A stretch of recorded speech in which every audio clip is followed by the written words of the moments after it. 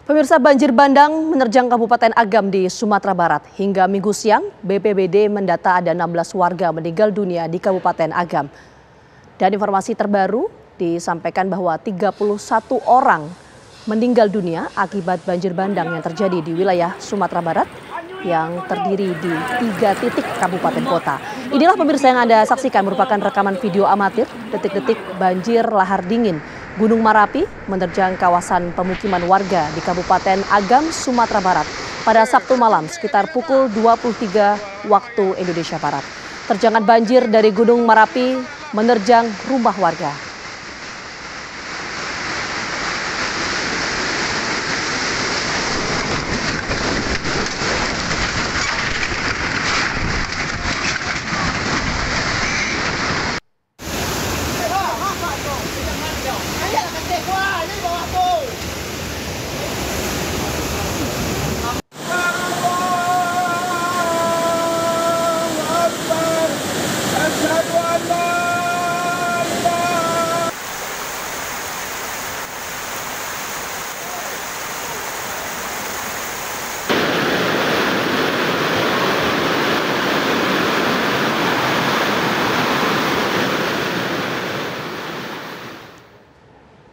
Pemirsa di korban atau korban jiwa akibat banjir bandang di Kabupaten Tanah Datar, Sumatera Barat. Seperti yang Anda saksikan, pemirsa ini mengakibatkan 31 orang dinyatakan meninggal dunia akibat banjir bandang yang menerjang wilayah Sumatera Barat.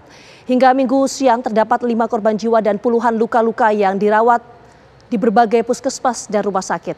Puluhan warga luka dirawat di Rumah Sakit Umum Hanafiah Batu Sangkar dan sebagian lainnya di puskesmas di dua kecamatan.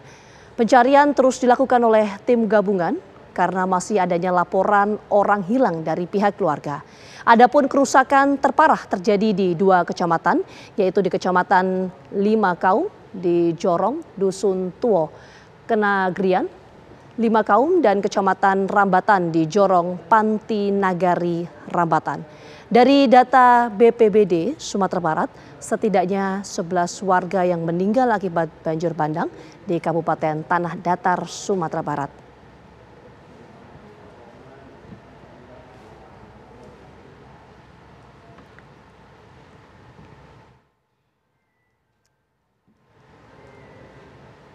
Kita akan coba lihat dan juga mengetahui bagaimana sebaran dari wilayah yang terdampak banjir bandang hingga ada berapa kemudian korban akibat banjir bandang yang menerjang wilayah Sumatera Barat. Kita bisa lihat pemirsa ini ada di tiga titik di kabupaten kota. Ini di Kabupaten Tanah Datar, di beberapa kecamatan. Ini terdampak banjir bandang di Sumatera Barat. Dan akibat banjir bandang di wilayah Sumatera Barat ini mengakibatkan 31 orang meninggal dunia. Dan ini juga terjadi untuk sebaran wilayahnya di kota Padang Panjang.